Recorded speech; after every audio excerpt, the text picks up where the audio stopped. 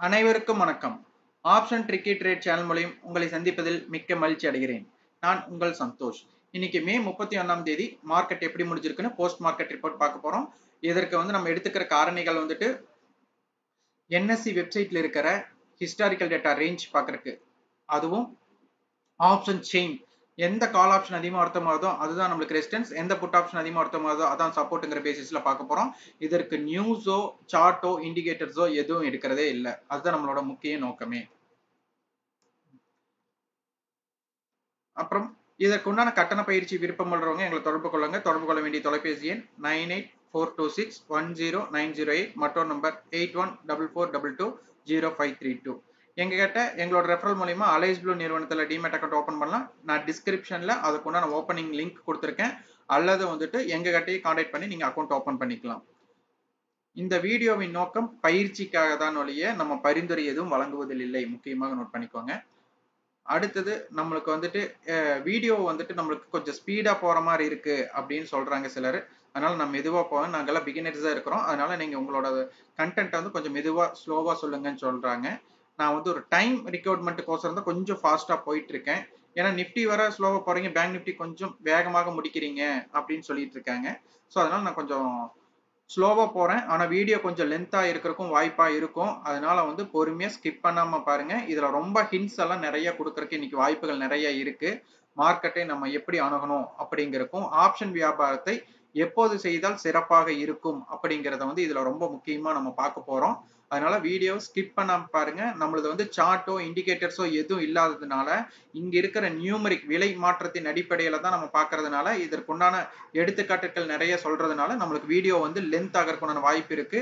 நீங்க video skip பண்ணீங்கன்னா இதோட கண்டென்ட் உங்களுக்கு புரியாம போயிடும். ஏன்னா இது வந்து ரொம்ப ரொம்ப அடிப்படை. அடிப்படையிலிருந்து வரும்போது அதை சொல்லி நம்ம சொல்லும் போது உங்களுக்கு விவரமா புரியும். அதனால வந்துட்டு வீடியோ ஸ்கிப் பண்ணாம பாருங்க. இன்னைக்கு மார்க்கெட் வந்துட்டு பதினஞ்சாயிரத்தி நானூத்தி முப்பத்தி ஏழுக்கு ஓப்பன் ஆயிருக்கு. நேற்றைய முடிவுற்ற விலை பதினஞ்சாயிரத்தி நானூத்தி முப்பத்தஞ்சு. அப்போ ஏழு புள்ளிகள் ஏற்றத்தில் மார்க்கெட் வந்துட்டு ஓப்பன் ஆயிருக்கு. ஹை வந்துட்டு பதினஞ்சாயிரத்தி நானூத்தி நாற்பது. ஹை லோ வந்துட்டு பதினஞ்சாயிரத்தி நானூத்தி இரண்டு. அப்போ நான் ஸ்கிரீன்ஷாட் எடுக்கும் போது மார்க்கெட் இருந்த விலை பதினஞ்சாயிரத்தி நானூத்தி இருபது. இப்போ இதுல ஐம்பத்தி இரண்டு வாரத்தோட உச்சி அதாவது அதிகமான விலை வந்து பதினஞ்சாயிரத்தி நானூத்தி அறுபத்தி ஒன்பது ஓகேங்களா? இப்ப இந்த இடத்துல நம்மளுக்கு அதிக வர்த்தகம் அப்படிங்கிற ஆப்ஷன் அதிக வர்த்தகம் ஆகிறது அப்படின்னு நம்ம பார்க்கும்போது நேற்றைய அதாவது இந்த வாரம் சென்ற வாரத்தோட முடிவுல பார்க்கும்போது பதினஞ்சாயிரத்தி நானூறு புட் ஆப்ஷன் பதினஞ்சாயிரத்தி ஐநூறு கால் ஆப்ஷன் இதுதான் ரேஞ்ச் ஃபர்ஸ்ட் இந்த ரேஞ்ச் இந்த ரேஞ்சுக்குள்ளேயே பதினஞ்சாயிரத்தி நானூறு காலும் கொடுத்துருந்தாங்க நானூத்தம்பது கால் நானூற்றம்பது புட்டு கொடுத்துருந்தாங்க. இதன் அடிப்படையில இன்றைய தின காலையிலேயே நம்ம சொல்லியிருந்தோம் மார்க்கெட் வந்து பதினஞ்சாயிரத்தி நானூறுக்கு கீழ் நிலை பெற்று வர்த்தகமானால் அதுவும் பதினஞ்சாயிரத்தி நானூறுக்கு கீழே ஸ்பாட் மட்டும் இல்ல ஃபியூச்சரும் நிலை பெற்றால் சந்தை வந்து பலவீனமா இருக்கிறதுக்கு வாய்ப்பு.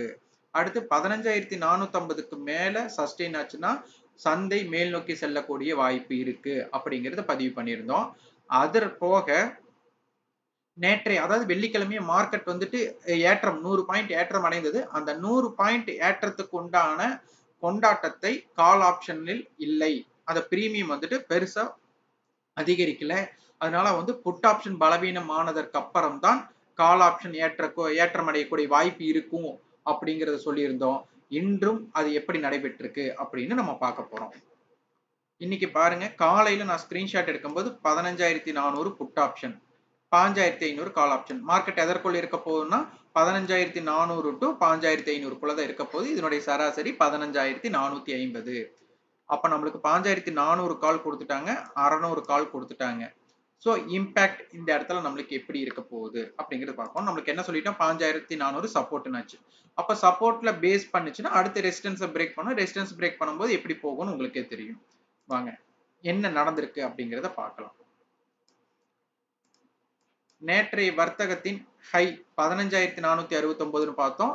லோ சென்ற இதற்கு முந்தைய தின வர்த்தகம் தான் நான் சென்ற சொல்றோம். ஸோ அதனால வந்துட்டு இருபத்தி எட்டாம் தேதியோட லோ பார்த்தீங்கன்னா பதினஞ்சாயிரத்தி முன்னூத்தி தொண்ணூத்தி நாலு.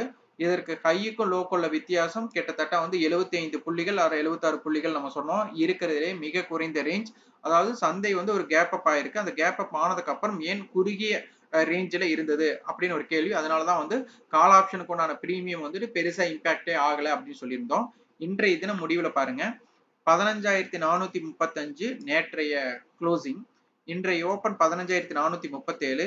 ஸோ அப்போ இம்பேக்ட் பாருங்க நம்மளுக்கு ஏழு சாரி இரண்டு புள்ளிகள் தான் நம்மளுக்கு பாசிட்டிவ்ல இருந்திருக்கு. ஸோ இதனுடைய இம்பாக்ட்ல பதினஞ்சாயிரத்தி அறுநூத்தி ஆறு ஹை பதினாலு முன்னூத்தி எழுவத்தி நாலு லோ அப்போ ஹையுக்கும் லோவுக்கும் உள்ள வித்தியாசம் நம்மளுக்கு பார்த்துட்டீங்கன்னா கிட்டத்தட்ட வந்துட்டு நூத்தி முப்பது டு நூத்தி நாற்பது புள்ளிகள் நம்மளுக்கு ரேஞ்சா இருந்திருக்கு. நேற்றைய ரேஞ்ச் என்னவா இருந்தது? எழுபத்தஞ்சு அப்ப அதனை விட ரேஞ்ச் இங்கே பிரேக் அவுட் ஆயிருக்கு. பதினஞ்சாயிரத்தி ஐநூத்தி எண்பத்தி ரெண்டு. அப்போ அது வந்துட்டு நம்மளுக்கு கரண்ட் மார்க்கெட் க்ளோசிங்கா அங்க அமைஞ்சிருக்கு. சந்தை இன்று முக்கிய நிலை அடைஞ்சிருக்கு. அது என்னன்னா முக்கியமான விஷயம் நீங்க தெரிஞ்சுக்க வேண்டியது சந்தையோட லோ ஃபியூச்சர் ஃபியூச்சர் வணிகம் ஜூன் வணிகம் பாருங்க. லோ பார்த்துட்டிங்கன்னா பதினஞ்சாயிரத்தி நானூற்றி பத்து. அப்போது மார்க்கெட் லோ பாருங்க பதினஞ்சாயிரத்தி முந்நூற்றி எழுவத்தி நாலு ஸ்பாட்டோட லோ இதற்கு இடைப்பட்ட வித்தியாசம் தான் நம்மளுக்கு பிரீமியம் அப்படின்னு நம்ம சொல்லுவோம். ஸ்பாட் மார்க்கெட்டின் விலையை விட ஃபியூச்சர் வணிகத்தின் விலை அதிகமாக இருந்தால் பிரீமியம் என்று கணக்கிடுவோம். ஸ்பாட் மார்க்கெட் விலையை விட ஃபியூச்சர் வணிகத்தின் விலை குறைவாக வர்த்தகமானால் அதனை டிஸ்கவுண்ட் என்று நம்ம குறிப்பிடுவோம். இப்போ லோவில் பார்க்கும்போது நம்மளுக்கு கிட்டத்தட்ட நம்மளுக்கு வந்துட்டு ஒரு நாற்பது புள்ளிகள் முப்பத்தைந்து புள்ளிகள் முதல் நாற்பது புள்ளிகள் பிரீமியத்தில் இருந்திருக்கு. ஓகேங்களா இப்ப மார்க்கெட் முடிவுறும் போது பாருங்க ரொம்ப முக்கியமே பதினஞ்சாயிரத்தி ஐநூத்தி எண்பத்தி ரெண்டு ஸ்பாட்டின் விலை. ஆனால் ஃபியூச்சர் வணிகத்தின் விலை பதினஞ்சாயிரத்தி ஐநூத்தி எழுபத்தி ஒன்னு. அப்போ ஸ்பாட் விலையை விட இங்க ஃபியூச்சரோட விலை குறைவாக வர்த்தகமாகி இருக்கு. இதனுடைய அர்த்தம் டிஸ்கவுண்டில் மார்க்கெட் இருக்கு. டிஸ்கவுண்ட்ல இருக்குன்னா நீங்க உங்களுக்குள்ள ஒரு கேள்வியை கேட்டுக்கோங்க. பிரீமியம் ஒரு பொருளோட விலை பிரீமியத்தில் இருந்த என்ன? டிஸ்கவுண்ட்ல இருந்த என்ன? பிரீமியத்தில் இருக்குன்னா அந்த பொருளுக்கு உண்டான தேவை அதிகமா இருக்குன்னு அர்த்தம். டிஸ்கவுண்ட் சேல்ஸ் எல்லாம் எப்ப கொடுப்பாங்க?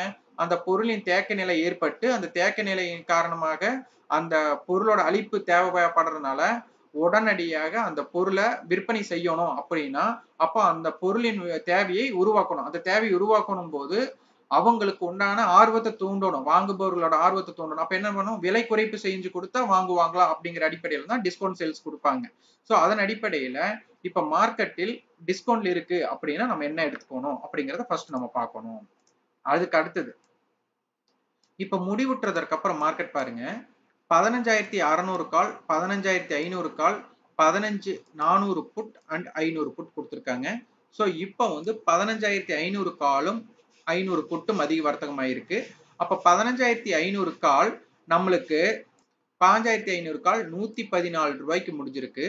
நாற்பது ரூபாய் வந்து நம்மளுக்கு சேஞ்ச் அப் முந்தைய தின க்ளோசிங்க்கு இன்னைக்கும் ஐம்பத்தி அஞ்சு பர்சன்டேஜ் மதிப்பு கூடியிருக்கு. இப்ப நினைச்சு பாருங்க ஒரு லைஃப் ஹை பிரேக் பண்ணி மார்க்கெட் மேல போகுது.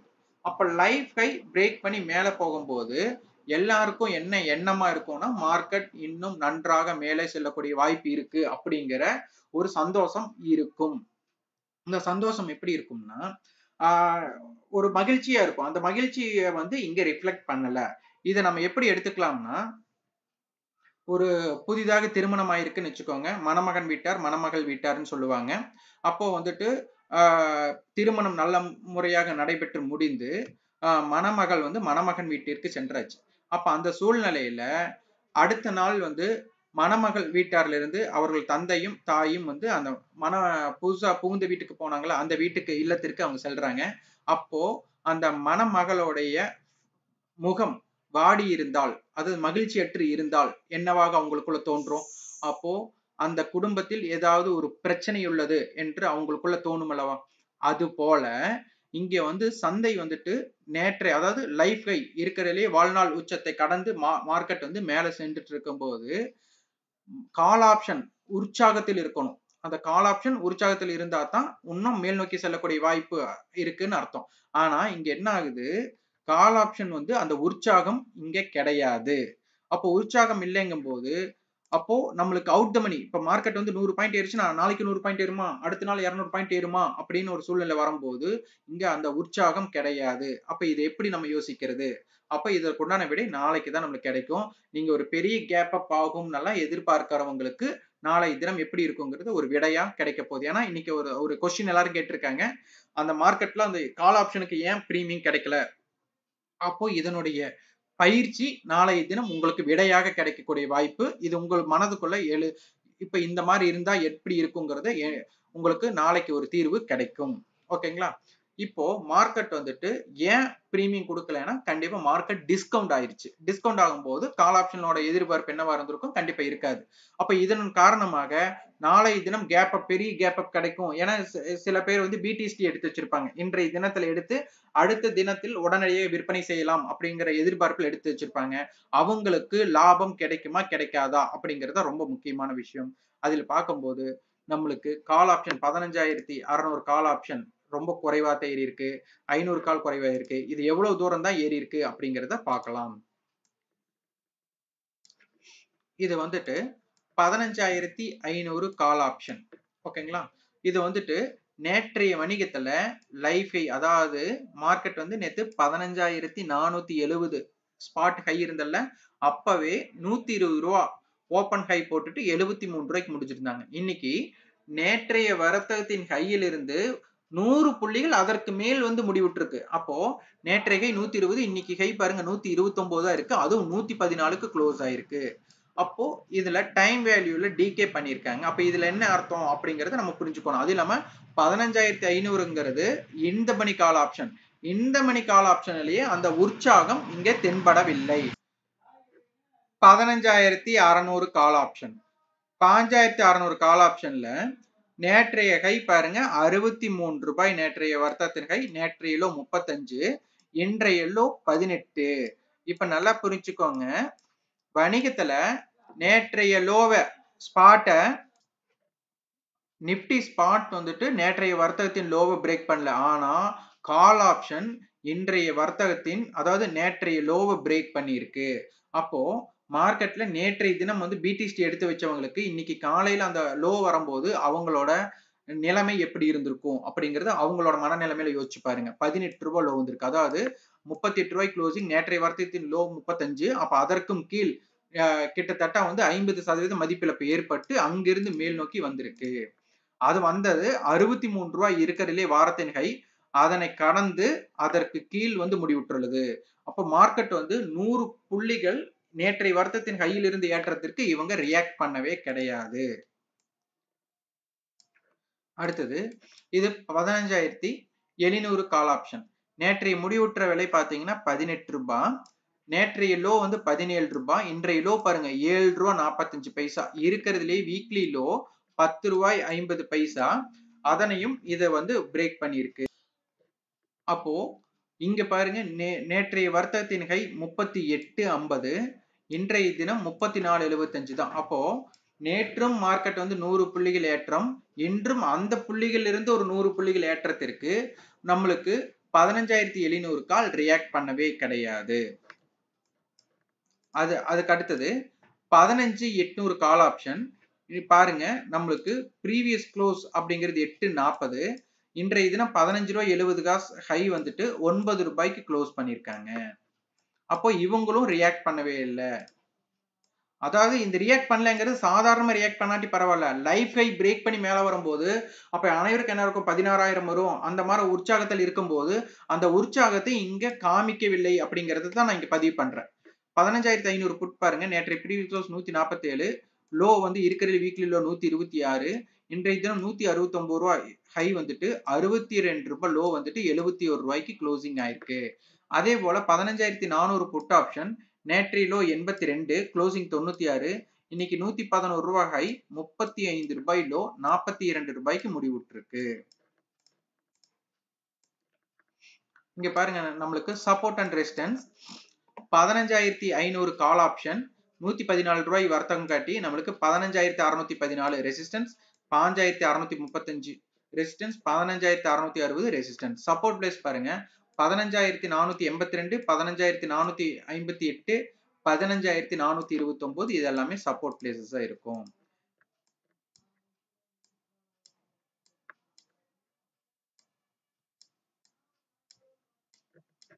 இப்ப சந்தை பாருங்க.